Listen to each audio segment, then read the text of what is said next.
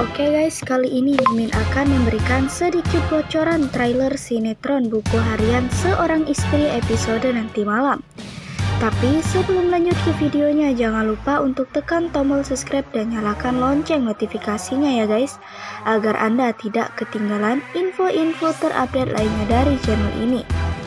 Di episode kali ini kita akan disuguhkan dengan adegan-adegan yang menarik ya guys, yang pastinya sayang untuk dilewatkan. Yang mana di episode kali ini Mama Farah itu tiba-tiba saja datang menemui Pasha dan juga Nek Ratu di rumah Buana dan langsung saja mengatakan di depan semua orang bahwa Pasha itu bukanlah anak kandung Rama Buana. Entah apa ya guys yang membuat Mama Farah mengatakan hal ini kepada Pasha. Apakah karena ia saat ini merasa sangat sedih karena ia pikir dewa itu menjadi hancur gara-gara dirinya.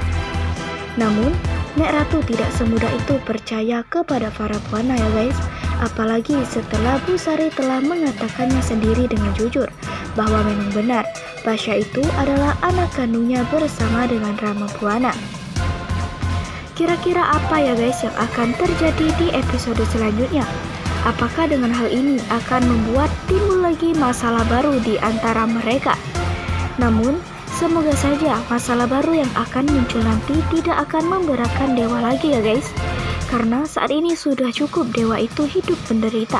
Saksikan kelengkapan ceritanya di sinetron buku harian seorang istri setiap hari di SCTV.